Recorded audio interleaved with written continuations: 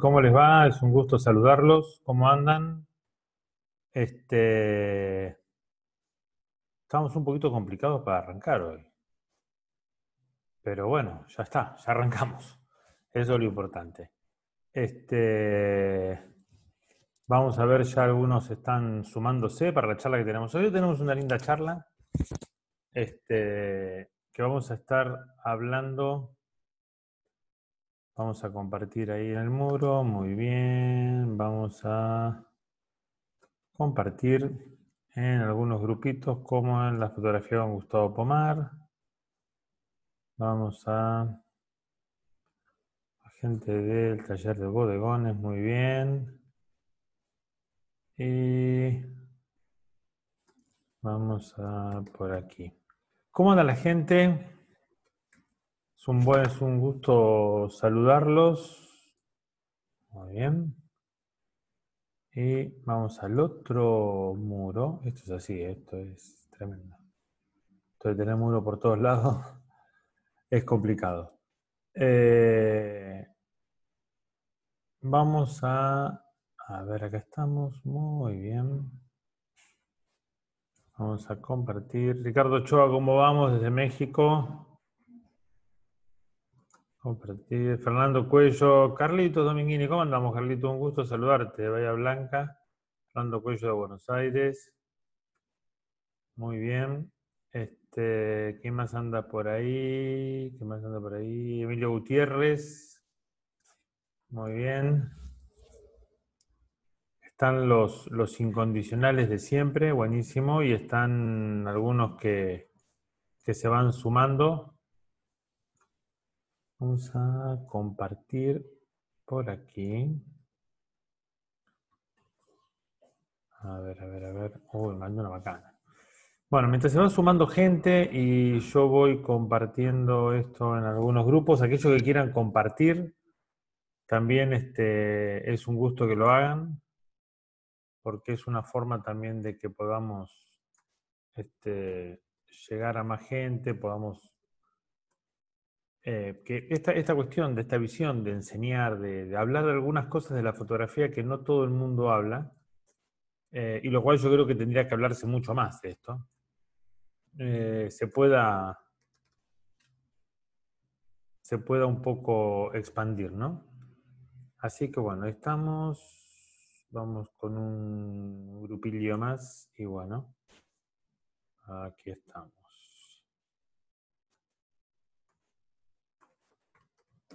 Perfectos, perfectos, perfectos, perfectos. Muy bien. Este, vamos por aquí. Y muy bien. Ampliamos para poder, así puedo ver bien los comentarios. Daniela Domicolo, ¿cómo vas de San Luis? Gloria Cabrera de Uruguay. Mariano Hernández Lazábal desde eh,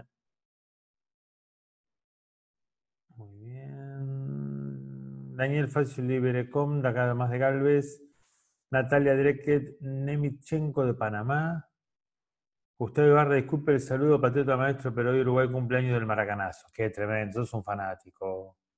Mi querido amigo Charrúa, muy bien, Gustavito, festeje. Pablito Jules, ¿cómo vamos? Guillermina Baigorre, Guille, ¿cómo andás? Qué bueno saludarte. Guillermo Caicedo Valencia de Cali, ¿cómo va? Un gusto saludarte a todos también. Muy bien, Vamos a hablar de algo muy interesante, que, es un tema eh, que mm, a todos nos va a venir muy bien. No es solamente para aquellos que son principiantes, sino que tiene que ver con esta metodología de fotografiar. Porque esta cuestión de cuando salimos a hacer fotos o cuando, eh, porque vamos a un lugar determinado a sacar fotos, o salimos por ahí y agarramos nuestra cámara y vemos algo para fotografiar, y no tenemos un procedimiento, no tenemos una forma, no tenemos una idea muy clara de lo que estamos haciendo, por qué lo estamos haciendo, ese tipo de cosas. Entonces quiero que hoy hablemos un poco de eso. Y esto de las tres preguntas tiene que ver con eso. Tiene que ver con esta metodología o esta forma de poder hacer la fotografía que vaya a ser de una manera centrada, coherente, con un sentido. Y, y digamos que no me voy a perder de nada y voy a estar haciendo las cosas bastante bien. Así que Eh, por eso la idea de hoy era esto de hablar de, antes de fotografiar, tener bien claro qué, por qué y cómo. En realidad este es el primer acto creativo. ¿Qué voy a fotografiar? ¿Por qué lo voy a fotografiar? ¿Y cómo lo voy a fotografiar? Cuando estamos hablando de qué voy a fotografiar, en este paso lo importante es el sujeto o cosa a fotografiar. Saber bien qué es lo que quiero que se reconozca como lo importante de la foto. ¿Cuál es el sujeto principal? Puede ser una cosa o un conjunto de cosas, pero deben estar bien, bien resaltadas. Un sujeto principal básicamente es eh, el primer paso para el éxito en tu foto. Para que nuestras fotos sean entendibles deben tener un sujeto principal y todo debe estar relacionado con él. Lo ideal es que el fondo no llame más la atención que el sujeto principal. Atento. Y hemos hablado de esto, ¿por qué? Porque dijimos que esta relación figura-fondo para nuestro cerebro, para nuestra mente, digamos, ¿no? Eh, ah, perdón, ustedes no están viendo nada de lo que yo estoy viendo. Vamos a compartir acá. Esta relación de figura-fondo, básicamente, que, que mm, se establece en todo trabajo de imagen, nuestro cerebro no puede reconocer las dos cosas al mismo tiempo, la figura y el fondo. Entonces, lo que más le llama la atención es lo que va a mirar nuestro, nuestro cerebro, va a prestar atención, aquello que más le llame la atención. Claro, pero si llega a ser el fondo, estamos en un problema grave, porque la figura, que es la que queríamos destacar, queda en segundo plano. Por ahí, si es una persona o es algo muy evidente, el, cerebro entiende que eso es importante, vuelve a verlo, ¿está? Este, pero el problema con el que se encuentra es que le va a llamar también de vuelta la atención el fondo. Entonces generamos un conflicto que va atrás y adelante. Y esto es peligroso. Por eso tenemos que ver muy bien esta cuestión de jerarquizar al sujeto principal, o porque es más grande, o porque está bien expuesto e iluminado, porque está en foco y el resto desenfocado, por lo que sea. Pero esos son todos aspectos de la jerarquización. Entonces, vamos de nuevo con esto. Que eh, como primera medida, quiero volver porque no vieron nada ustedes de esto. ¿Qué voy a fotografiar? Cuando en este paso lo importante es el sujeto o cosa fotografiar, saber bien qué es lo que quiero que se reconozca como lo importante en la foto. ¿Cuál es el sujeto principal? Puede ser una cosa, un conjunto de cosas, pero deben estar bien resaltadas. Y em, de, nuevo tener en cuenta esto. Para que nuestras fotos sean entendibles, deben tener un sujeto principal y todo está relacionado con él. O sea que los demás, los elementos secundarios o decorativos apoyen al sujeto principal, tengan una relación, sea, haya una armonía. Lo ideal es que el fondo no llame más la atención que el sujeto principal y este, el sujeto principal, debe estar jerarquizado con respecto al resto de los elementos dentro del encuadre. Fíjense en esta foto. Esta foto es un poco caótica. Hay un montón de, chiquitas, todas iguales, todas vestidas iguales, con el mismo peinado, todo perfecto. Hay una persona ahí que para mí es importante, porque está, es la foto de, está mi hija ahí, en, un, en un este, conjunto con el que bailaban y hacían toda una cuestión aeróbica. Eh, pero claro, yo la reconozco a ella. Cualquiera que ve esta foto le parece una cosa sin sentido, caótico, cortado, mal. Ahora, si yo te muestro esta foto, vos fácilmente podés identificar cuál es mi hija sin conocerla a ella. ¿Por qué? Porque vas a encontrarte que hay un sujeto principal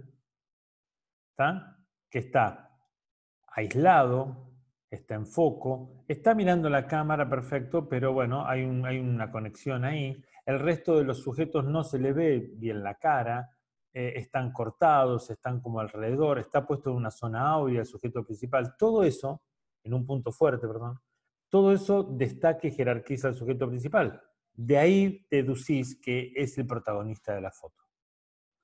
Entonces, tener un sujeto principal claramente identificable, muchas veces tenemos la ventaja de que mm, ese, ese sujeto no tiene mucha competencia, porque bueno, o como en este caso, y muchas veces tenemos algo de tiempo como para trabajar la imagen y encuadrar, pero así sea que no tengamos tiempo, tenemos que trabajar en esa cuestión de la jerarquía, o sea, de jerarquizar a nuestro sujeto, así no sea el único, pero tiene que reconocerse que es realmente lo importante.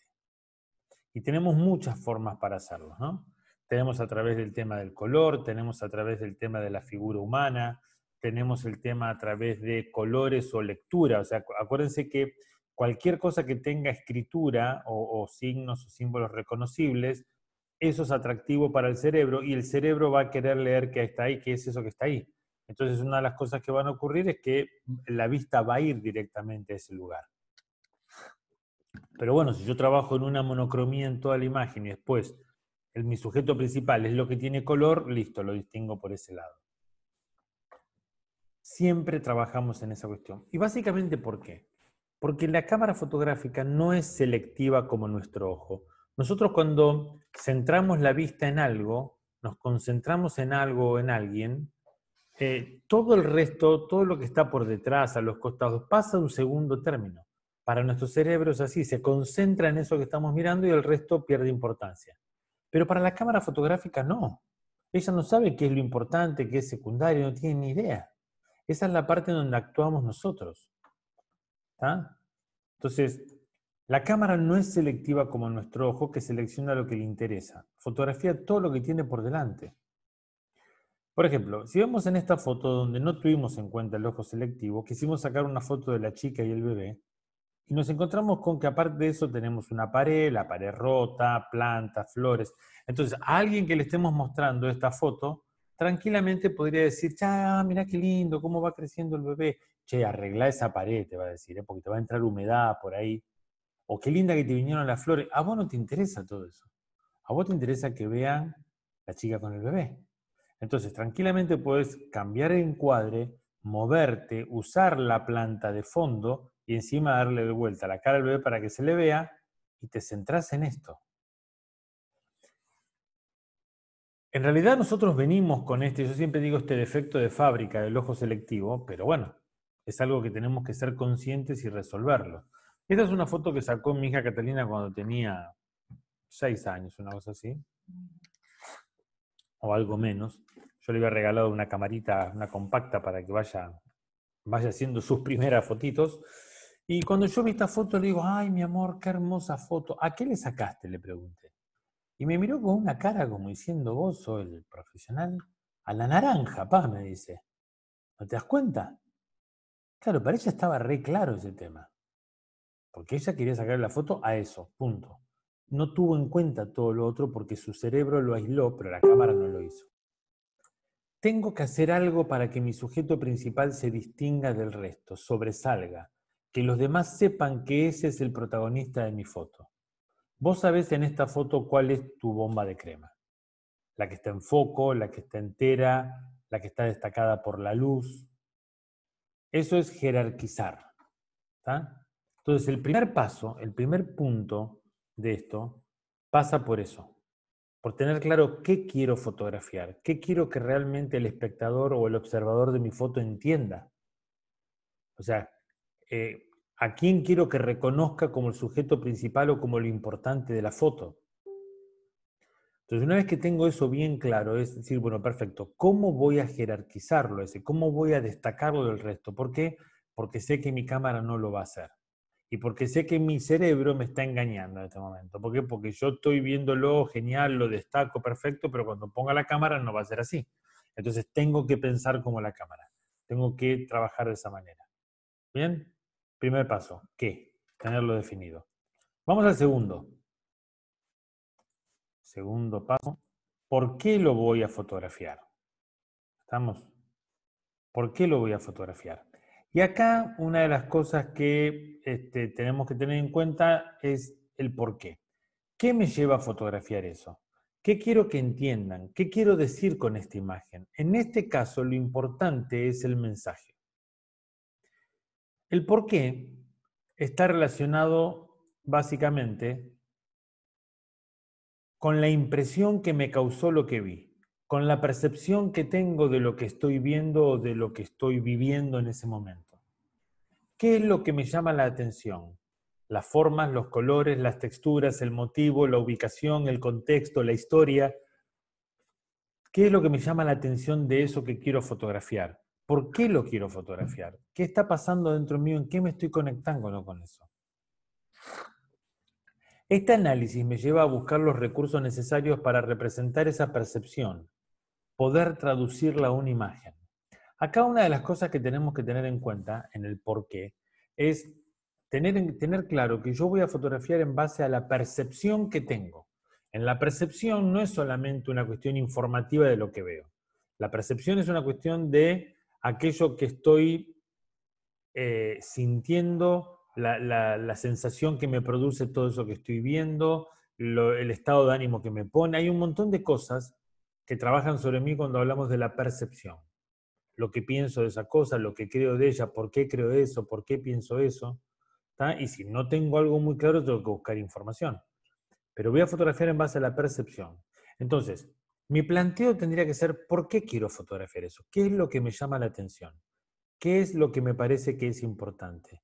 ¿Qué podría decir o transmitir con esa foto? ¿Qué podría comunicar?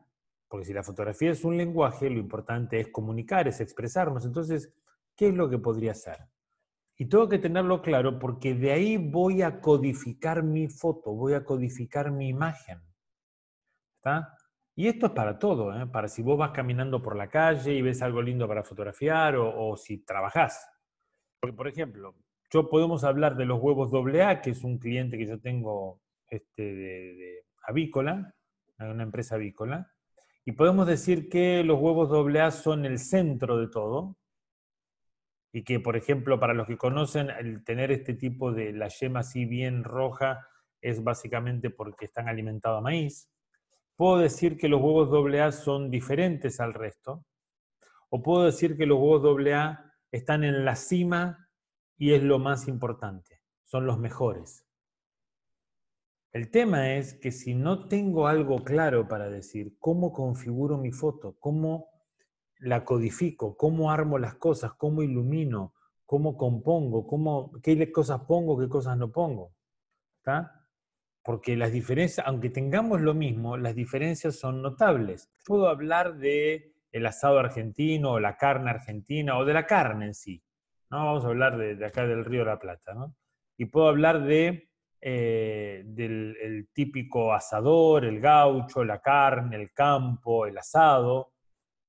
Esto no está representando lo mismo, lo artesanal, como veíamos recién, y esto tampoco. Es más, ya acá hay información extra. Que aparezcan tortillas, que aparezcan salsas, me habla más que no es tan del Río de la Plata esto. Es más de la zona de México. Entonces, no es porque yo presento un, instrumento musical, es algo que está directamente relacionado con la música y punto. Porque esto sí puede estar hablando de la antigüedad en la música. Pero acá estoy contando esta historia. Acá fíjense que tenemos elementos muy interesantes. Tenemos un violín, que es el sujeto principal, y tenemos partituras, lentes antiguos, un reloj de, bolsillo, y tenemos plata, dinero, monedas y billetes dentro de un estuche. Acá estamos contando la historia de alguien que es músico callejero, que toca en la calle, que es una persona mayor, vive en un ambiente rústico, pero que es músico de, estudio, no es de, de oído, sino que ha estudiado por las partituras. Hay toda una serie de elementos que codifican la imagen y dan un mensaje específico. Acá estoy hablando de unos instrumentos antiguos, en una casa antigua, en un horario como la siesta, por, la luz que entra o a la mañana, por la luz que entra por una ventana a través de las ramas de un árbol, y es todo, todo tan antiguo que puedo estar hablando de, no sé, el medioevo. Entonces, en este segundo punto, el por qué, analizamos básicamente cómo voy a construir imagen en base a lo que quiero decir o a lo que tengo que transmitir, o a lo que quiero que el otro entienda. Necesitamos entender lo siguiente, no fotografiamos para que los otros vean lo que estamos viendo. Fotografiamos para que comprendan o entiendan el mensaje que queremos dar por lo que eso nos produjo, por la sensación que tenemos lo que sentimos en ese lugar, en ese momento, o la sensación que queremos transmitir, por ejemplo, cuando es un trabajo profesional. Entonces, Ese es el porqué. Ahí está donde es la, cuestión importante del porqué. ¿Está? Y nuestro tercer paso, nuestro tercer paso es cómo. Claro, y este es inevitable. O sea, ¿qué? Ya tenemos qué vamos a fotografiar, ya sabemos por qué. El por qué indefectiblemente nos lleva a cómo lo vamos a hacer. Analizamos lo que queremos decir, cómo queremos expresarlo, cómo lo vamos a codificar. Bueno, ahora vamos entonces al cómo. ¿Cómo vamos a, codificar eso? En este punto veremos cómo utilizamos los recursos compositivos, técnicos y comunicacionales para que el que vea nuestra foto entienda el mensaje que queremos dar. Básicamente es eso. ¿Cómo utilizo todos los recursos técnicos, tecnológicos, todo el conocimiento, toda la parte comunicacional, estética, toda esta cuestión semiótica? ¿Cómo hago para que se comprenda eso que quiero decir de un determinado lugar, de una determinada circunstancia, de cosas por el estilo? Ese es un punto fundamental. ¿Cómo, cómo manejo esa situación? Entonces, comprendemos, por ejemplo, esto fue un trabajo que hice para una bodega en Mendoza, eh, acá en Argentina, y bueno, eh, un vino que en su momento este vino era el vino de ellos este, de, alta gama, y era un vino que es un vino que se, se madura, digamos, en barricas de roble, en, la cava. La cava generalmente acá en las bodegas son en el sótano, bajo tierra. Entonces, ahí ya se me empezaba a condicionar el mensaje. ¿Por qué? Porque si yo tengo que representar que esto es una cava, necesito poner un signo que se entienda que este lugar está bajo tierra. Entonces, lo que tiene que entrar en mi foto es esta escalera.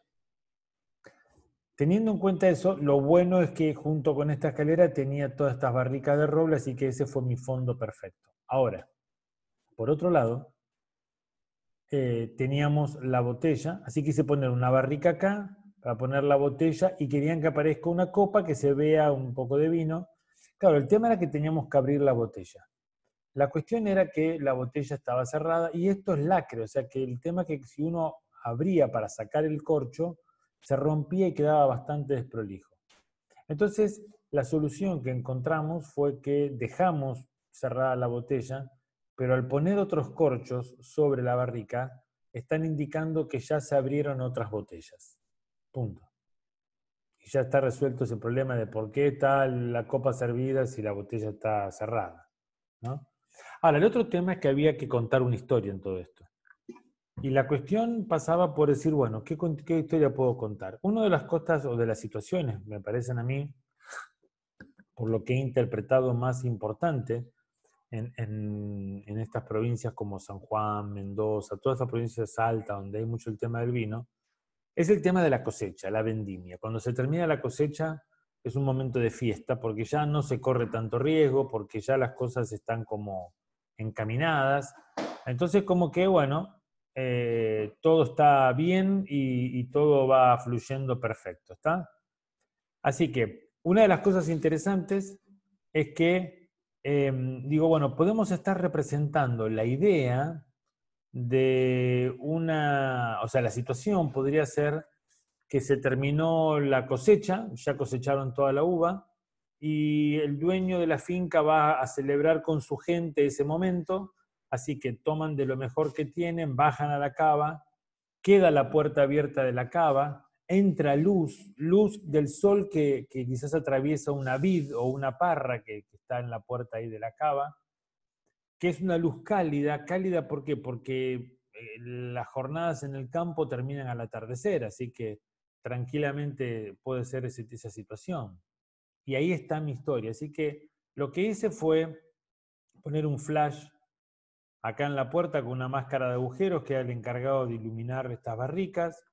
Y después también con un, flash iluminé este, el, bodegoncito, digamos, la botella, la copa, los corchos. El lugar en sí era precioso. Este, pero yo tenía que contar una historia de una sola cosa. Con un tele de 200 milímetros logré comprimir. Y en este backstage lo que está faltando es un flash que estaba acá de arriba para abajo con un snoot para que se notara bien el tema de la copa que dice tierras altas, eso está grabado en la copa, y le da este destello acá en el borde de la, botella. Que no sé por qué no está en este backstage, pero bueno. Pero básicamente tiene que ver con, esta cuestión, el cómo. En el cómo resuelvo. En el cómo es donde tengo que tener todo el conocimiento técnico, tengo que saber manejar los equipos, tengo que saber cómo logro determinadas sensaciones según cómo ilumino, punto de vista, ángulo de tomo, cómo comprimo los planos o no con la distancia focal que elija, la profundidad de campo necesaria, todo eso lo defino en el cómo. Entonces tenemos estas tres cuestiones que tienen que ver con qué, por qué y cómo. Vos vas por la vida tranquilamente con tu cámara, uy, mira esto qué lindo para fotografiar. Bien, quiero fotografiar eso, me parece que está bárbaro, ¿por qué lo quiero fotografiar? porque tiene una forma, tiene una textura, unos colores llamativos que realmente están muy buenos. Ok, número uno, vamos al cómo. Desde acá, ¿resaltaría bien la forma que tiene? Y no, porque atrás están unos edificios que cuando yo lo acerque con el teleobjetivo, el teleobjetivo comprime los planos y no se va a notar la forma. Entonces le empiezo a dar vuelta y veo que de este lado hay un hueco y queda el cielo. Ah, bueno, entonces puedo hacer que se recorte contra el cielo. Pero a vos te gusta la textura que tiene, sí. ¿Y la textura cómo la consigo? Con una luz rasante.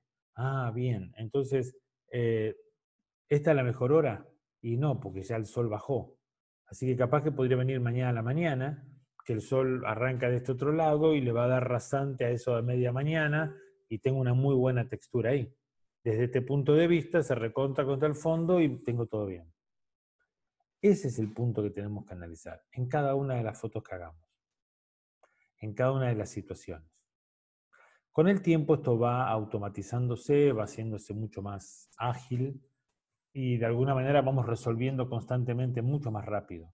Pero en un primer momento tenemos que estar trabajando de este tipo de cosas. En este momento tenemos que estar este, generando esto en nuestra cabeza para ver cómo vamos a resolver la situación. Ese es el punto. ¿eh? Ese es el punto. ¿Cómo vamos a ir resolviendo las situaciones? En eso tenemos que trabajar. Porque si no, este, uno de los problemas con los que vamos a encontrar es que eh, vamos tirando 250 fotos de lo mismo de distintos lugares a ver si la pegamos con alguna. Y generalmente no vamos a llegar a nada con eso. Así que bueno, gente. Em, mientras preparan las preguntas, mientras preparan este, todo lo relacionado a, a lo que estuvimos charlando, o hacen sus comentarios y todo, lo que quiero compartirles básicamente es todo lo que se viene. Así que les pido que me den un minuto y rápidamente, este lunes 21 de julio está arrancando el curso inicial de fotografía. Está un curso que da mi amigo, gran fotógrafo y profesor Emilio Jeromel. Curso inicial de fotografía. Para aquellos que recién arrancan, que tienen que resolver un montón de cosas técnicas todavía, o que han empezado, han aprendido con tutoriales y todo medio descolgado, bien, esto te pone todos los caramelos en orden, esto te pone todas las cuestiones en orden y te permite fluir mucho mejor.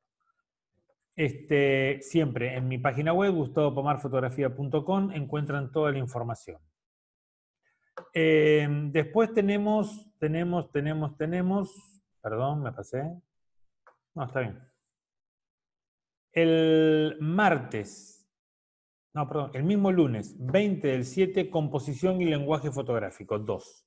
Para los que ya hicieron el composición 1, viene composición y lenguaje fotográfico 2. Acá ya nos metemos a ir directamente con los distintos géneros de la fotografía, nos metemos a hablar un poco de eh, todo lo que es la parte del signo, de la codificación de la imagen, de todo lo que tiene con las figuras retóricas, profundizamos mucho más.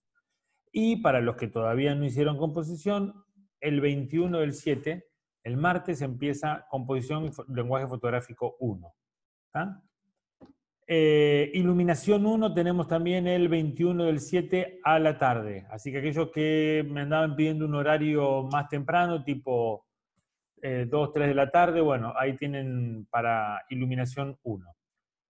Insisto, toda la información la tienen en gustavopomarfotografía.com y también el 27 del 7 está comenzando Introducción al Análisis Estético, un eh, curso que da Michelle ya casi licenciada, espero que un día dejemos de decir casi, licenciada en Dirección y Producción de Cine, Radio y Televisión, que es un curso muy interesante. Yo lo tomé en esta edición que terminó hace una semana y realmente me ha abierto la cabeza en todo lo que tiene que ver con la estética y con el arte. Y se viene, atenti, 25, 26 y 27 de julio, seminario online, taller de retratos. ¿ah? Un taller donde vamos a ver toda la parte que tiene que ver con la composición, la iluminación del retrato, cómo conectar con la persona, el sentido del retrato, lo que tenemos que buscar. Y la verdad que de tanto buscar encontramos algo que está bastante bueno en la forma de poder expresarnos. Eh,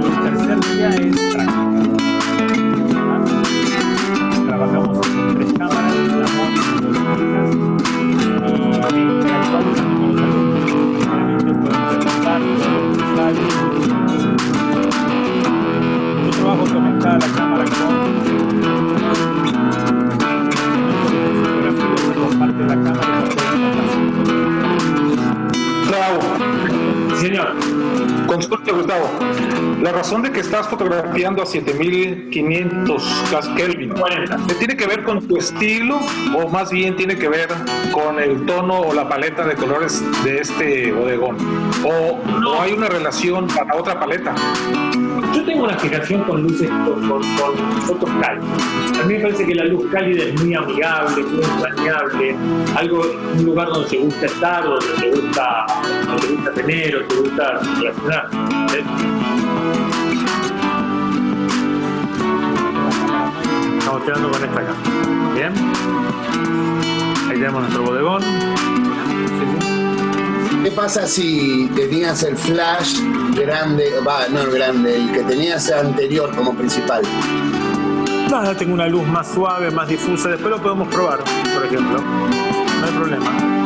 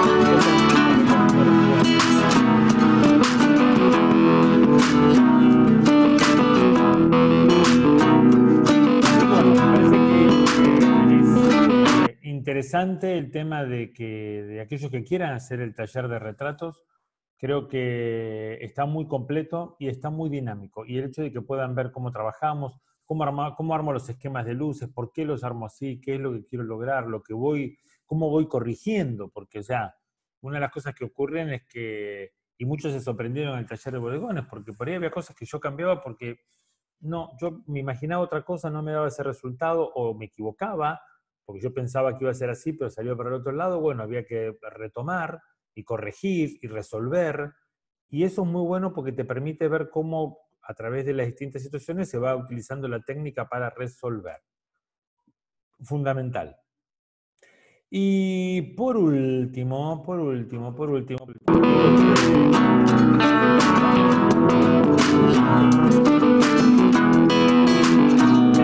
Invitarlos porque ya arrancó la plataforma. Ya arrancamos con la plataforma en gustavopomarfotografía.online. También pueden entrar desde mi página web, el aula virtual. Estamos donde tienen todo un montón de información. Ya estuvimos largando este video, estuvimos pasándolo por todos lados, donde pueden ver toda la, interacción, todo cómo pueden relacionarse con lo que estamos este, dando en el aula virtual. Ya tenemos mucha gente que se está suscribiendo. Así que bueno, como primera medida quiero agradecerles a todos aquellos que se han ya suscrito. Eh, y que están aprovechando y que están haciendo comentarios y preguntando todo. Muy bien. Vamos a ver qué tenemos acá. Eh, Ana Victoria Mazzoni. ¿Qué horario retrato? Saludos de Montevideo. Hola Ana. Mira, va a ser viernes 25, sábado 26 y domingo 27 de 19 a 22 horas. Lo interesante es que aparte del taller queda grabado.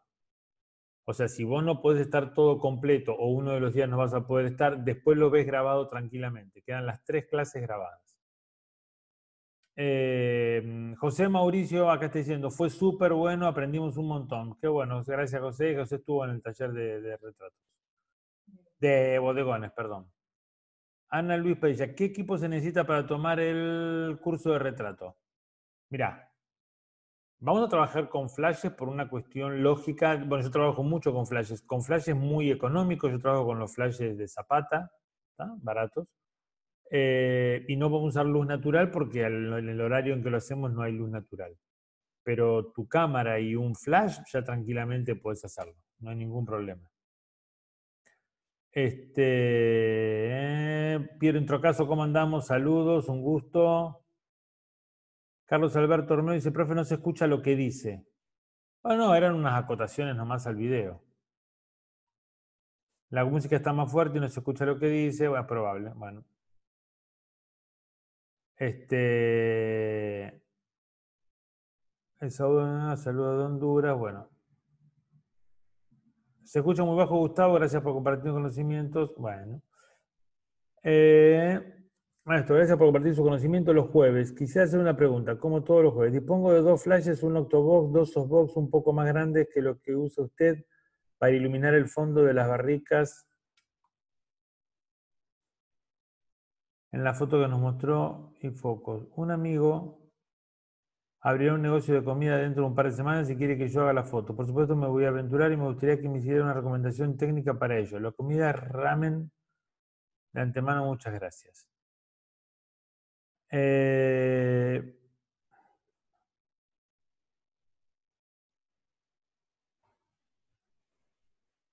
bien, pero estamos hablando de fotografía de comida, Luis. Me, imagino. Lo que hay que tener en cuenta con respecto a la, fotografía de comida, básicamente, es el hecho que eh, textura, volumen fundamental y la composición. O sea, la composición donde con el cocinero poder conectarte, saber qué es lo importante realmente del plato, cuál es el frente del plato, porque los chefs muchas veces arman un plato, ¿me entendés? Y bueno, si todo el plato es importante, perfecto, pero en fotografía vas a tener un frente. Vas a tener que definir y decidir si trabajar entre una foto a nivel, si el plato es muy alto, a 45 grados y, o punto comensal, si es algo normal, y si es muy plano el plato, sacar de arriba a 90 grados. O sea, básicamente la cuestión pasa por ahí, punto de vista, ángulo de toma, la composición y la iluminación donde haya textura, volumen. Eso es este, no negociable. Daniel Gallo, le ha gustado, hola a todos, muy interesante la charla, siempre es útil repasar el proceso creativo para hacer una foto. Uno de los puntos que considero más importantes es que, es que al ver una imagen con nuestros ojos y querer mostrarlo del modo que lo interpretamos, debemos valernos de los recursos para exteriorizar la interpretación y plasmarla en la imagen final. En realidad, sí, es esa, cuestión que siempre decimos que eh, la, digamos, la cámara no ve lo mismo que vemos nosotros. Nosotros vemos en 3D, en tres dimensiones, la cámara ve en dos dimensiones, entonces ahí ya tenemos un problema y nosotros tenemos que representar esas tres dimensiones. Por eso el conocimiento técnico, cómo manejar ese tema de los volúmenes, de la perspectiva, de la profundidad en la imagen. Este, Cristian Salgado, fotografía. ¿JPG o RAW? Depende de lo que vas a hacer. Yo trabajo en RAW eh, últimamente muchísimo porque con el tema de las máscaras no siempre tengo mucho control. Entonces por ahí tengo zonas que están un poquito quemadas y en JPG no lo podría recuperar. Entonces, bueno, eh, le meto RAW. Pero he, hecho trabajos en JPG cuando, por ejemplo, tenés eh, la luz totalmente controlada en un estudio y querés trabajar rápido y qué sé yo, no tenés problema. el JPG no es el diablo, tranquilo. Pero bueno, en estas situaciones, o el, RAW cuando, básicamente el archivo RAW es, fundamental, absoluto, cuando vos o no tenés un buen control de la imagen, eh, por, porque no tenés el control de la luz, porque es de día, porque hay sol, porque cambia, porque está nublado, qué sé yo, o bien este, porque vas a hacer este tipo de cosas como yo generalmente manejo lo de las máscaras, que tengo esa situación, esos problemas de, que no tengo el control, porque por ahí la luz sale para un lado, para el otro, qué sé yo, y me sale una, parte quemada. Pero bueno, RAW, básicamente. Hola Gustavo, ¿cómo aplicamos lo visto a fotografía de paisaje? Bien, ¿cuál es la diferencia del paisaje con lo que hemos visto? Para tener en cuenta. Fíjate que uno de los planos que más se utilizan en el paisaje es el plano general. ¿Por qué? Porque el plano general no descansa en ningún punto específico, sino que lo importante para el plano general es el todo. Eh, entonces, una de las cosas que es importante en esto que estamos hablando de cómo, cómo llevamos esto adelante es, ¿qué quiero fotografiar? Este sector, muy bien.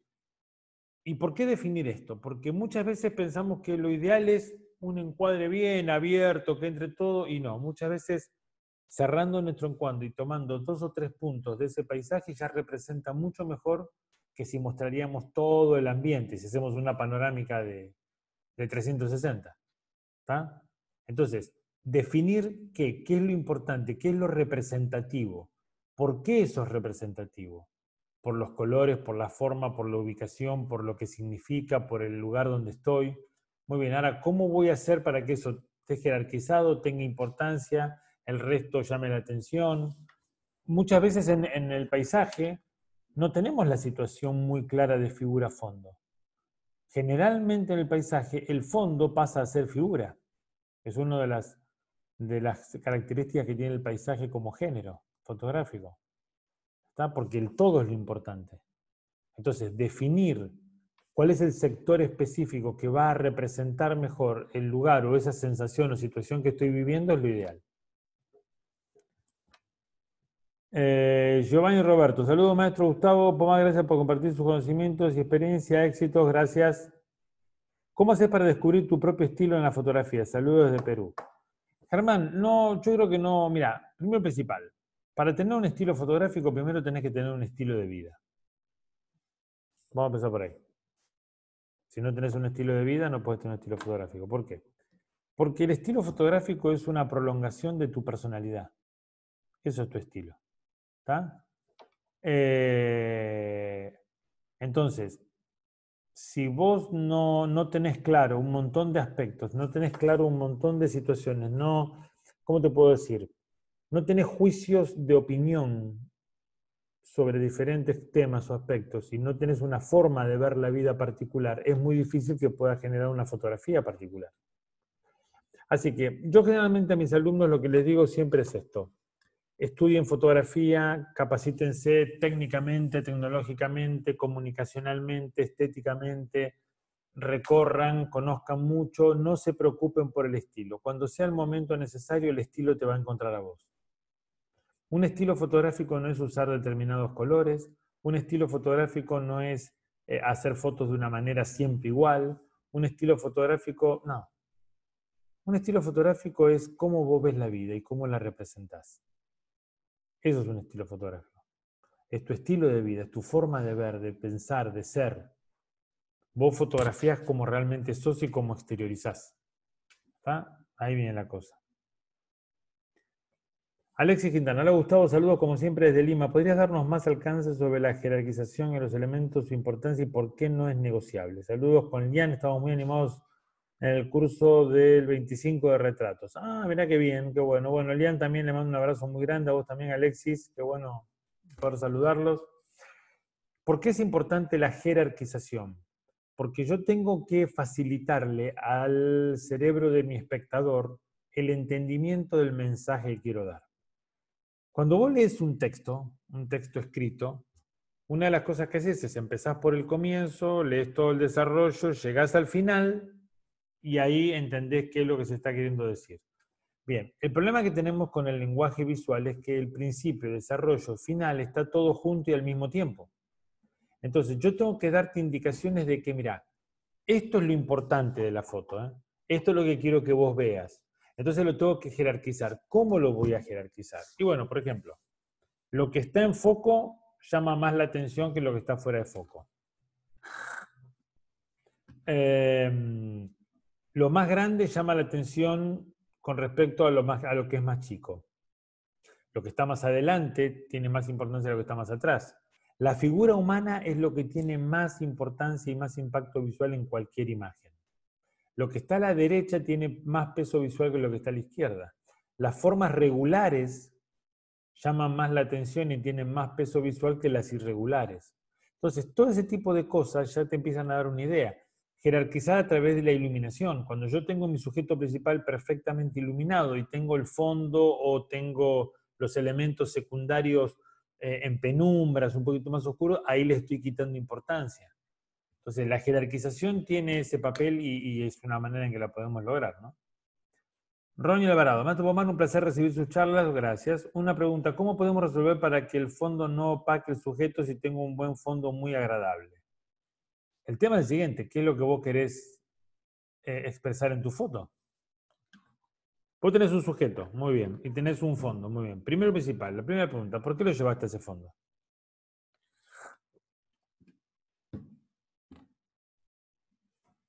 Porque venimos condicionados con la idea de que tengo que llevar a la persona a un lugar lindo para hacer una fotografía linda, y no es tan así. No necesariamente es así. Generalmente cuando hacemos ese tipo de cosas establecemos una competencia entre el sujeto y el ambiente. Cuando vos trabajás sobre un retrato, en lo que tenés que trabajar es en el sujeto que vas a retratar. La locación es totalmente secundario y es, vamos a llamarlo, un anexo a lo que vos vas a hacer. Pero vos tenés que trabajar en el sujeto, en su expresión, en, favorecerlo, en representar su personalidad, que esa es la esencia de un retrato. Entonces, claro, muchos se presentan con ese problema. ¿Por qué? No quiere decirte esto que tenés que llevarlo a lugares feos o, neutros. No, no, no, no, para nada. Pero ya tenés que tener claro que en cualquier retrato lo que va a llamar la atención y lo que es lo importante es el retratado. Así que si vos te fuiste al paraíso, hermano, a sacar la foto, buenísimo, lo lamento, pero eso tiene que quedar en segundo término. Desenfocado, subexpuesto, que no haya colores muy llamativos porque van a competir con el sujeto principal, ahí es donde tenemos un problema. Pero aparte es importante tener en cuenta eso. ¿Por qué voy a ese lugar? ¿Ese lugar donde llevo mi sujeto tiene algo que ver con él? O sea, ¿qué relación hay en ese lugar con la persona? Yo veo retratos por ahí que llevan embarazadas en un peñasco, en una catarata que cae agua y está a la vez haciendo equilibrio, ¿viste? La pobre este, con su panza ahí. ¿Qué, están haciendo? ¿Cuál es el sentido? ¿Vive ahí? ¿Es de esa zona? ¿Le gusta tirarse por la catarata? ¿Qué onda? O sea, ¿qué representa eso? Nada. Ese es el tema. Ahí es donde tenemos que plantearnos. Eh, a ver, a ver si me escapó. Brian. López. Para una clínica dental o un cirujano dentista, ¿qué estilo sería el más acorde? ¿Podría darme algunos tips? Saludos de Guatemala. Eh, no, tip no te puedo dar, pero lo que te puedo decir que para, para un tipo de fotografía dental, hay un tema dentro del lenguaje fotográfico, que es el modo de representación. Vos tenés realista, figurativo, abstracto y tenés este mm, determinado. El determinado es aquel que habla de un punto específico profesional de gente que sabe de eso. ¿Está? Entonces, eh, la fotografía dental creo que una de las cosas que tiene que aparecer muy bien es el tema de proporciones, tamaños, formas. Generalmente utilizan flashes anulares o flashes este, para macro, porque ese tipo de cuestiones. Eh, y, sobre todo, si vos querés un estilo, tenés que hablar del estilo realista, porque no puedes hacer algo fantasioso. Así que ténganlo en cuenta eso. Pero sí hay una cuestión que es muy, muy que es fundamental y que es muy importante, que es esta cuestión de lo, lo específico de la profesión o del tema que se trate. En tu caso es algo que, bueno, vos lo podés manejar muy bien porque conoces lo que tiene que verse y cómo tiene que verse determinada parte de la dentadura o los dientes o ese tipo de cosas. Rafael Campillo Rodríguez, una, una, duda. En la página web de los cursos dice que el costo es de 40 o 4.500. ¿Son 40 dólares americanos? ¿Qué son los 4.500? Peso argentino, Rafael. Eh, Sergio Barracín, jerarquizar, muy buena explicación. Gracias, Sergio. Este, Luis Alberto Ríos, saludos desde Durango. Bien. Eh, ¿Tenemos algún otros, otros comentarios? Me parece que no. Tengan en cuenta esto. Tengan en cuenta esto. Estamos muchas veces acostumbrados a hacer cosas por inercia o porque todo el mundo lo hace así, ¿no? Y durante mucho tiempo, yo, y esto siempre lo digo en, los talleres que doy o con los cursos con los alumnos, teníamos esa cosa de decirle a la gente, bueno, vamos a ir a, a sacarle fotos a un lugar lindo para hacer una foto linda. Y si vos te pones a analizarlo, le estás diciendo a la gente, vamos a un lugar lindo para que sea una foto linda porque ustedes no son lo suficientemente lindos como para que la foto quede bien. No alcanza con ustedes. Entonces, lo que tendríamos que plantearnos muchas veces es cuál es la historia que quiero contar relacionada con quiénes son ellos. Ese es el punto claro. Tenemos que tener en cuenta que un retrato es una foto para dentro de 20 o 30 años. ¿eh? Claro que tiene que ser algo que quede bien ahora.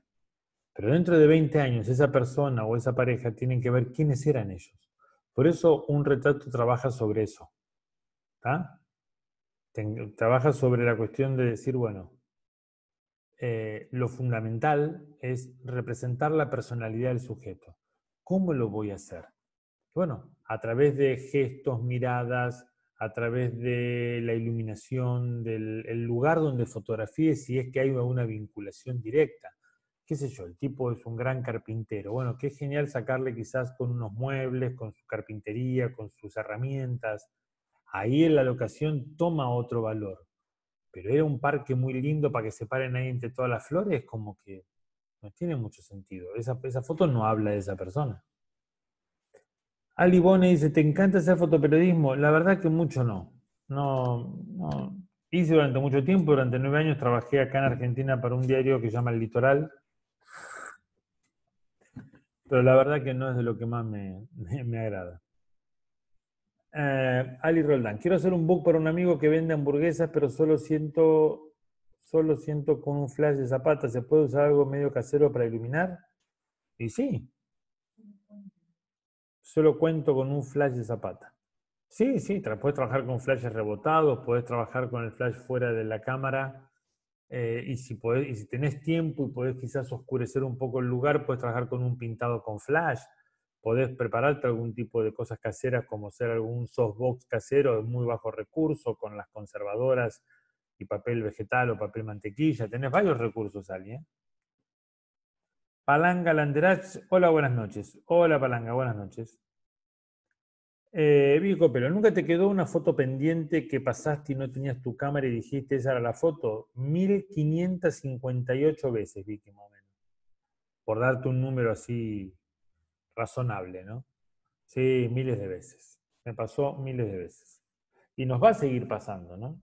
Porque hay circunstancias que se, justo se, ordenan, ese caos que, en el que vivimos constantemente, muchas veces se ordenan no porque, porque se acomoden las cosas en forma externa, sino porque nuestra mente, nuestra percepción reconoce y asocia elementos de una manera particular por cómo estamos ese día, por el estado de ánimo, por las cosas que venimos pensando, por una serie de cuestiones. Y ahí tenemos una foto increíble y pasó porque no teníamos el equipo. Es normal. Eh, Brian C. López, ¿qué speedlight nos puedes recomendar? Mira, yo particularmente uso John Nuo, no porque tenga ningún tipo de relación con John Nuo, sino porque son los más baratos, me parece. O son bien, bien baratos. Y me han dado un muy buen resultado, ¿eh? no he tenido ningún tipo de problema. Y uso los 564 que son manual. Yo no uso TTL, ¿no? Eh, TTL no es algo seguro. Entonces yo quiero tener el control de lo que hago, necesito tener un flash en manual. Pero hoy en día gastar en un flash Nikon, Canon, Sony, ni loco. Es un delirio. Con lo que te compras un flash, te compras tres flashes chinos, pies, box, radio, todo, con uno de esos. Marcelo Villara, Gustavo, tiene una meseta creativa. ¿Te pasó? ¿Cómo haces para motivarte? Mira, Marcelo, hay dos cosas que son fundamentales. Por un lado, por un lado, es el conocimiento. Eso es fundamental. ¿Está? Cuando hablamos del conocimiento, hablamos del conocimiento de un montón de cosas que tienen que ver, por ejemplo, em, si vos tenés que hacer un trabajo fotográfico y te encontrás en un día bastante malo, por algo por decirlo de alguna manera, vos tenés un montón de recursos para utilizar dentro de lo comunicacional para armar la foto que vos quieras. No tiene por qué venir una inspiración divina y llenarte en un halo de luz y hacerte flotar cuatro metros, no. Usás las figuras retóricas, usás los estereotipos, vas a trabajar con diferentes técnicas, punto. O sea, esto es una cuestión, no es mágica, es una cuestión totalmente técnica. El problema es que la gente no sabe que existe todo eso. Mirá, el problema está el que la gente no sabe que el proceso creativo es algo totalmente técnico y, estudiado. Cuatro pasos, el sistema creativo de Graham son cuatro pasos. La copia de información, la, mm, ¿cómo se dice? La incubación, el, descubrimiento y la comunicación. Son los cuatro pasos de un proceso creativo.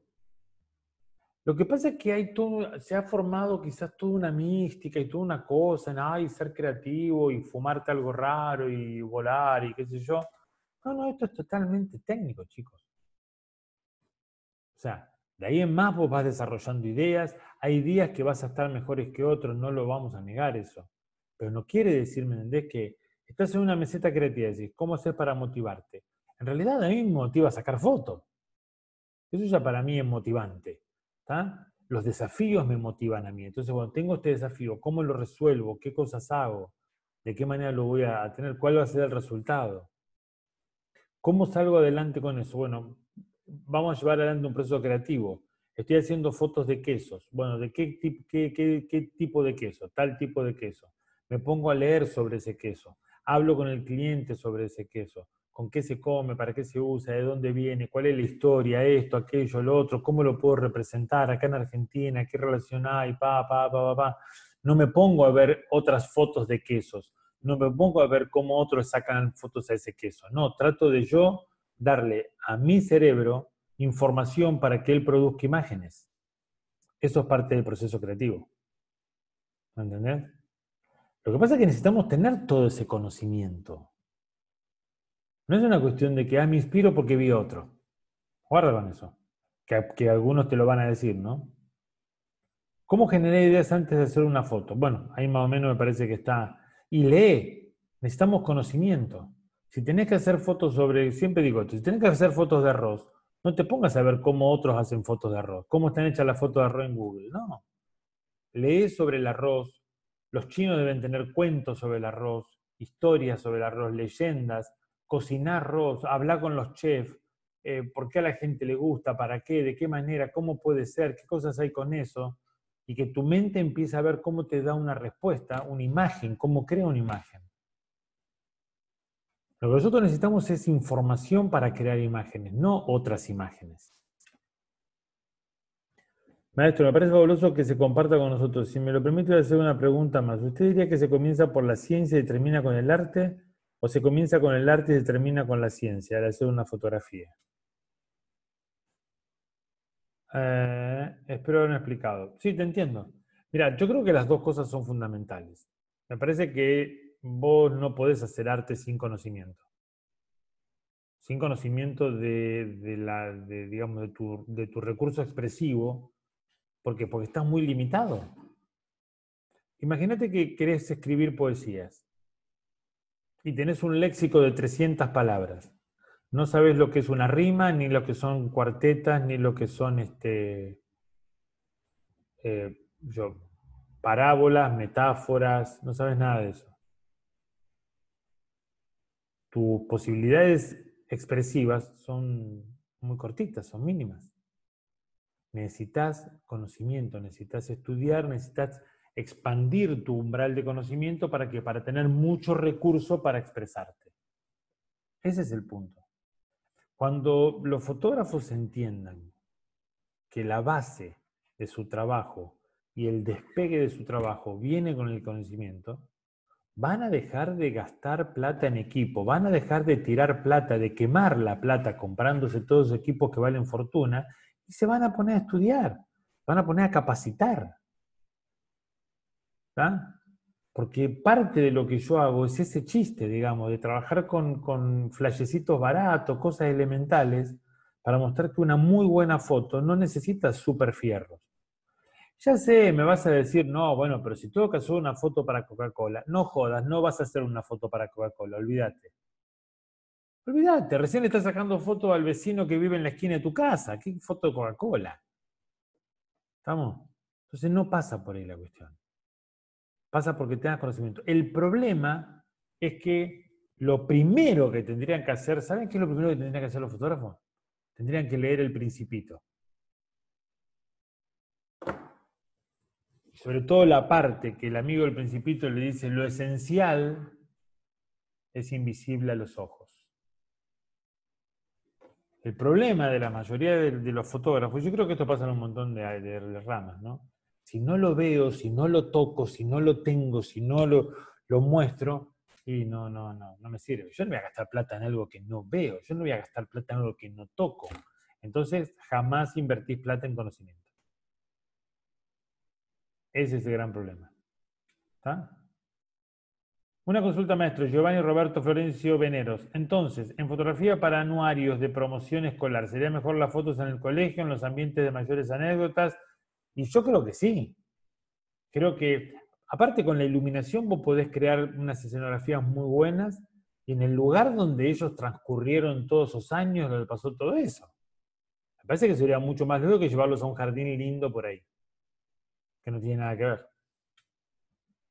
Ahora, ahí está la cuestión y ahí está el desafío de decir, bueno, perfecto, pero yo veo un jardín que está todo hermoso, impecable, los tiro a los chicos ahí, pum, los tiro a los chicos ahí, les tiro pum, pum, pum, ya está.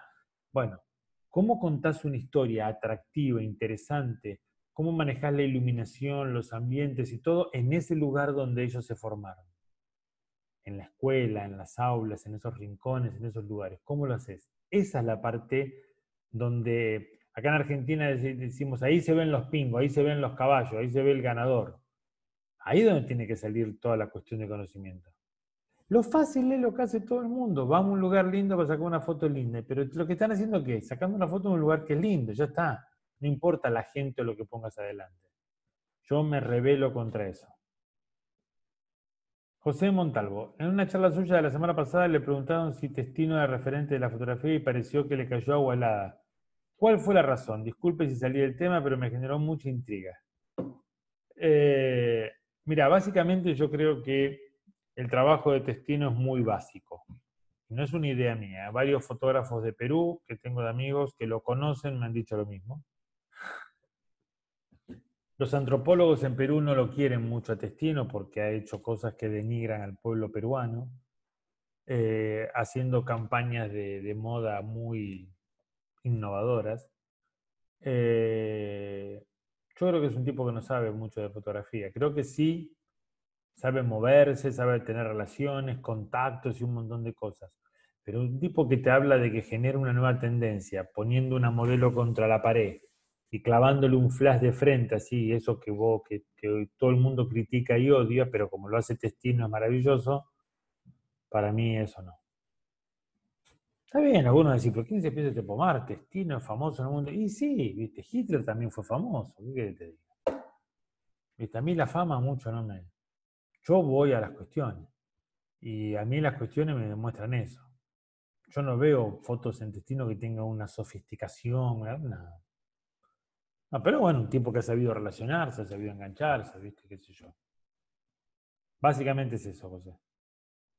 Eh, pero te hablo cuestiones que, que, sé con respecto a esto porque me lo han contado aparte conocidos de él, fotógrafos en Perú. Así que. Dana Patricia, basta de chisme. Hola, en un proyecto fotográfico primero se debería definir lo que quiero transmitir y luego el sujeto o objeto a través de las distintas imágenes.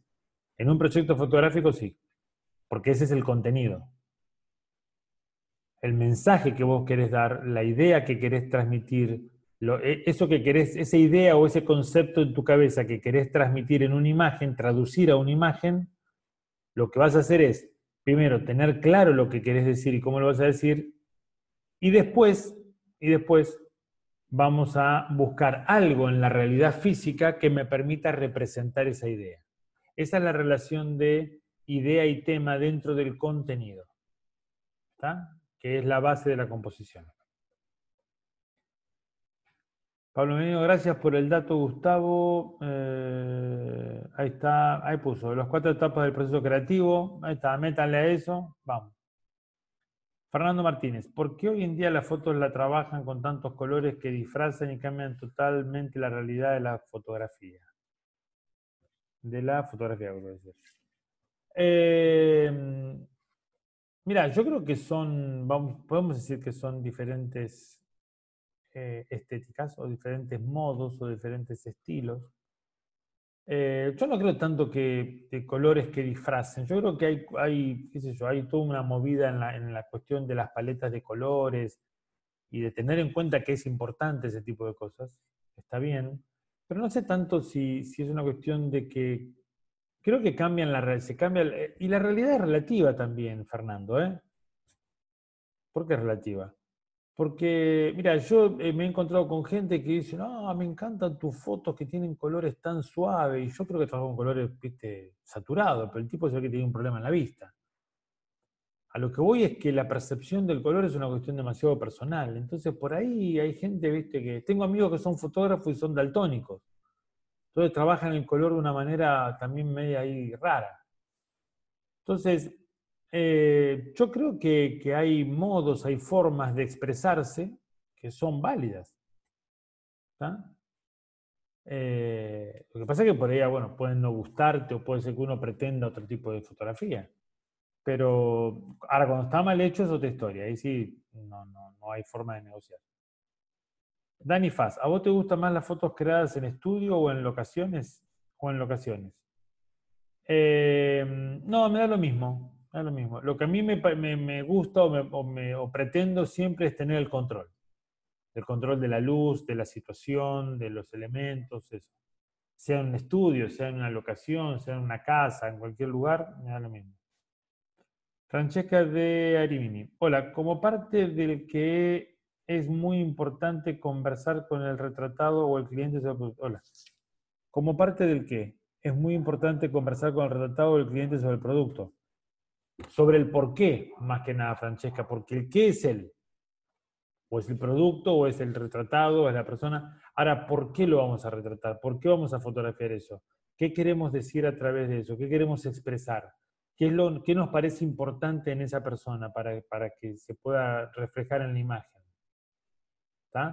En ese caso, el qué lo tenemos mucho más definido. Cuando yo tengo que sacar fotos de un producto, el qué lo tengo mucho más definido.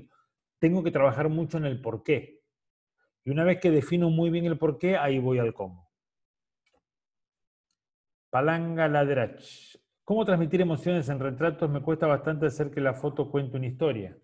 Lo que pasa es que vos tenés que crear la historia. Y después manejar los recursos la iluminación, la composición, elementos primarios, secundarios, todo ese tipo de cosas son las que a vos te permiten contar una historia. Lo primero que tenés que identificar es cuál es la historia del sujeto para contar. Y ahí a ver cómo la expresás o cómo la representás en base a lo que él te dice, a cómo conectás. Totalmente de acuerdo. El Principito es fundamental, es un libro para adultos, pero con la cabeza y el corazón abierto. Totalmente, Vicky.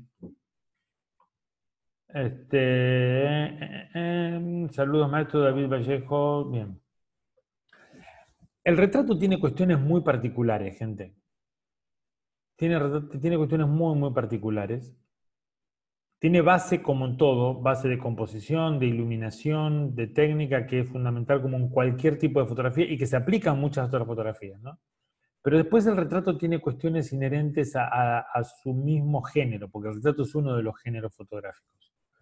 Y que en realidad eh, creo que es la parte interesante de cómo tratarla, de cómo, cómo conectar con el sujeto y cómo expresarlo, representarlo. El otro problema es que el retrato nos lleva a que seamos audaces en lo que hacemos, porque nos vamos a expresar de acuerdo a lo que nosotros interpretamos en el sujeto. Claro, algunos pueden decir, y bueno, pero si me equivoco, y sí, capaz que te vas a equivocar, no lo dudes. Pero también vas a acertar. Y con el tiempo cada vez va a ser menos lo que le estés pifiando. Pero una clave fundamental para hacer retratos es que vos, y para hacer retratos bonitos, es que ames a la gente. Que te guste relacionarte con la gente. Que encuentres cosas positivas en la gente. Si a vos la gente te molesta, te parece hinchaquinoto, te parece que es algo que no soportás, cosas por el estilo, y no te pongas a hacer retrato. Es así de simple, básico esto. Cuando vos estás enamorado, todo lo ves maravilloso y perfecto y divino. No ves ningún tipo de defecto, ni error, ni nada. Bien, por eso hablo de que para hacer retratos necesitamos amar a la gente, conectarnos. ¿Qué es lo que me impacta de esta persona? ¿De qué me enamoraría de esa persona? ¿Qué me, llama la atención? y sobre eso voy a trabajar. Eso es parte de conectar con el retratado. Entonces, bueno, hay todo un camino y todo un desarrollo para eso. ¿Estamos? Pero, pero tiene que arrancar por ahí. Lo que hoy estamos viendo, básicamente, ¿qué es? Vamos a un lugar lindo para hacer una foto linda. Y parate así, y ponete así, y, no importa si es tu forma, si no lo es, no importa. Este, tiene que ver por ahí. Eh, y, la cuestión es, esa, es, ver qué se puede leer en la persona. Sofía Maya, ¿cómo andamos? Sofía, hola Gustavo, vamos, estuviste en Lima, nos fotografiaste a mi novia y a mí, lograste capturar nuestra esencia sin siquiera conocernos mucho. ¿Qué análisis hiciste para lograrlas? Todas las personas que ven la foto, pues las tengo decorando en la sala de casa. Para, para que se me escapó. Dicen que nuestras personalidades reflejan en ellas. Mirá, yo creo que una de las cosas que ocurren con el tiempo, y de tanto estar haciendo esto, es que vos aprendés a leer gente. ¿Entendés? Y después lo que haces es, cuando conectás, es corroborar algunos datos. Pero vos ves gestos, miradas, expresiones, y ya los asociás a ciertas formas de cómo utilizarías los equipos para representar eso, esa impresión que te está dando. O sea, yo estoy teniendo esta impresión y, me parece que esta persona de tal manera y yo la representaría así. Y para eso necesitaría utilizar tal y cual cosa de esta forma. Ya se te va armando todo, la composición, la luz, todo en tu foto. Creo que, el, entrar en esta cuestión, el aprender, ojo, que también hay toda una técnica, el tema de aprender a hacer perfiles y a, ver cuestiones en la gente, todo eso es importante para el retrato. Pero bueno, de alguna manera eso te hace que te, active. Pablo Merino, ¿recomiendas invertir en un fotómetro tomando en cuenta que me cuesta usar una tarjeta gris por un tema práctico, siempre ando con las juntas en el tiempo? Posdata, confirmo a los estudiantes en el colegio es lo que más me gusta, le doy un significado a su retrato. Ah, está bueno. Mirá, yo creo que si vos lo querés hacer una cuestión rápida, acertada, sí, sí, invertir en un fotómetro está bueno. Yo una de las cosas que enseño cuando doy los talleres de iluminación, bueno, Pablo, vos tuviste en un taller, eh, es el tema de aprender, por ejemplo, con los flashes de Zapata, aprender el tema de hacer los cálculos de número guía. Y eso tranquilamente también es bastante certero. Este, yo tengo mi, fotómetro, flashímetro y perfecto, y lo uso generalmente con flashes de estudio. Con los flashes de Zapata hago mi cálculo con número guía y ya está clavado, ¿no? Lo que necesitamos es eh, práctica, entrenamiento. ¿Por qué? Porque lo que necesitamos desarrollar son habilidades. Entonces, va a haber también un tiempo, un momento eh, en donde básicamente vos, este, ¿cómo te puedo decir? De tanto, de tanto utilizar esa herramienta, ya sabes que a tal distancia, de tal forma, con tal potencia, con tal diafragma, te da perfecto. Y si alterás tal y cual cosa, cambias tal cual cosa y también te da perfecto. O sea, eso es habilidad, pero a eso llegás con mucho entrenamiento.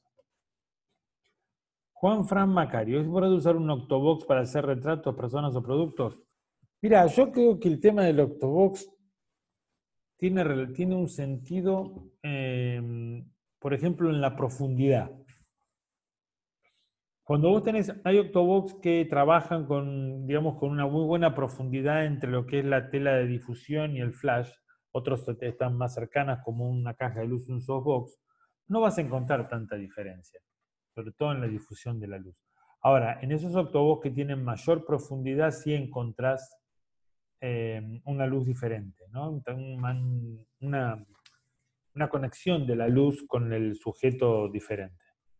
Eh, si no, lo otro es para que quizás si aparece un reflejo en el ojo se vea redondito y no cuadrado como sería un softbox, pero eh, a mí me da básicamente lo mismo, no tengo mucho problema entre uno y otro. Los números guía de los John Nuo no son exactos. En realidad, los chinos no nos dicen, no nos mienten, pero no nos dicen la verdad como tendría que ser. Todos los John Nuo son número de guía 32, todos. En ISO 100 y con el zoom de lámpara en 50 milímetros. Si vos cambias alguna de las dos variables, cambia el número guía. Ese es el problema. Pero la constante siempre se dio ahí. ISO 100, zoom de lámpara en 50 milímetros. Todos los Yonnuo y todos los Godos Speedlight, o sea, acá no entran los AD200 y todo eso, también son número guía 32. ¿Está? Y te digo porque los he medido, ¿eh? los he medido con un flashímetro, todo, y te, da, te dan 32. Pero bueno, em, gente, los invito a que se den una vuelta por la plataforma. GustavoPomarFotografía.com, entran a la plataforma online. Tengan en cuenta, arrancan los cursos, cursos de iluminación, de composición, de técnica en el inicial, de estética. Y el 25, 26 y 27 de julio tenemos taller de retratos. Gente que está muy interesada en la parte de retratos, Ahí tienen un taller específico donde vamos a ver iluminación, donde vamos a ver composición, donde vamos a hablar de este tema de la conexión con el, retratado, con el sujeto, lo importante de eso. Este, así que bueno, los, los espero que puedan este, eh, inscribirse en el taller, aquellos que están muy interesados con el tema de retratos y todo eso. Y mm, este, decir? Y si no, en los cursos, y si no, se meten en la plataforma. En la plataforma hay bastante información gratuita, así que tranquilamente pueden también disfrutar de ella. Y aquellos que, quieran suscribirse tienen mucha más información que pueden ir constantemente desarrollando. Este, gente, un abrazo muy grande. Carlitos, un abrazo para vos también. Eh, muchas gracias por estar ahí, muchas gracias por siempre estar acompañándome. Y bueno, seguramente nos vamos a ver en alguna otra actividad y si no hay un, pensando en voz alta o algún live o alguna cosa rara por ahí, el jueves que viene nos estamos viendo en otra de estas este, charlas entre matemáticas. Muchas gracias, que tengan una muy buena noche y que la pasen muy bien.